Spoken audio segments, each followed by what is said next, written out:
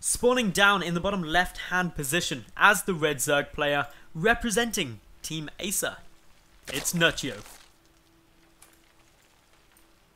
And his opponent in the top left, it is the teal Zerg representing Core EU, JonnyREcco. So, of course, we saw Nerchio just now defeat Slivko 2-1 in a best of three. So that's always some cool times. Whereas JonnyREcco, he went up against Lima and 2 0 in that series. This is the monthly final, so of course all the players have worked their way to get here, to get a chunk of the prize money, which they all no doubtedly do want. Rico is going to be opening with a early pull. That was a 10 pull coming down from him. I'm interested to see how Nerchio opens. In his games up against Slivko, he was mainly opening a kind of, I believe it was a 15 pull and then a 15 gas as well. So nice and early. It may have actually been 15-14. Can't recall precisely. I'll have to keep an eye on it this game. But that allowed him to get speed down pretty quick. Rico went for an extractor trick. Is going to be keeping the other extractor coming up. This could indicate a lot of early aggression. So there we go. 15 pull came down there from Nerchio. Um, and it, yeah, it must have been 15-15 if he does get the gas now. Yeah, there we go. So it was 15-15 that he was doing previously. And that's all very safe. Um, he needs to identify that this is coming, and Nerchio will now know where JonnyREcco spawned, and of course JonnyREcco knows where Nerchio spawns, just because where these overlords bump heads. If they bump heads in the middle, it means that obviously you both scatter the same way very quickly.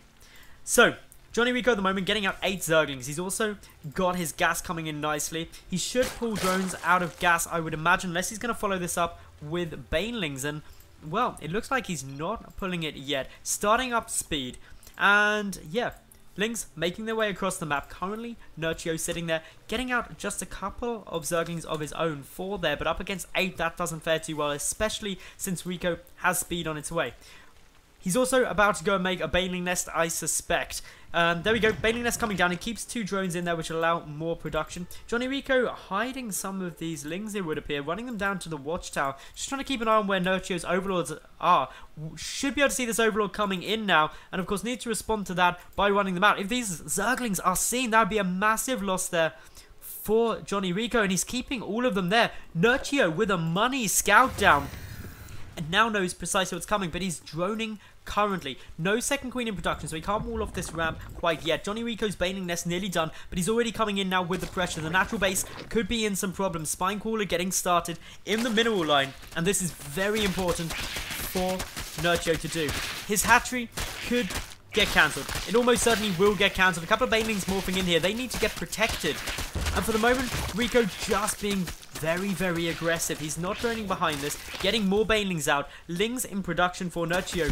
He has no Baneling nest. The cancel comes down on that hatchery, so now they are on equal bases. The drone count favoring Nerchio by 5 though. Will JonnyREcco be able to do much damage here? Wandering in with the Banelings. Detonation's coming down. Nice hit. The Queen is dead too. JonnyREcco still pressing in with two Banelings. That's more than enough. The Spine Crawler will help deter too much more future aggression, but just a couple of nice hits could be massive. A few more drones put on red health, but Nerchio able to defend. 11 workers to 10. The army supply, though, in Nerchio's favour. He's got a big swell of speedlings coming across the map, but one thing that will be helpful are the Banelings that JonnyREcco has available to him. One or two good detonations and everything's sweet. However, can he actually see the fact that these Speedlings are running by? It looks like, no, he didn't catch it quite there. So unfortunately, he's not going to get Banelings back in time. The Baneling's going to go on an offensive run at the moment. Maybe going to pick off reinforcements. But Nerchio now coming in.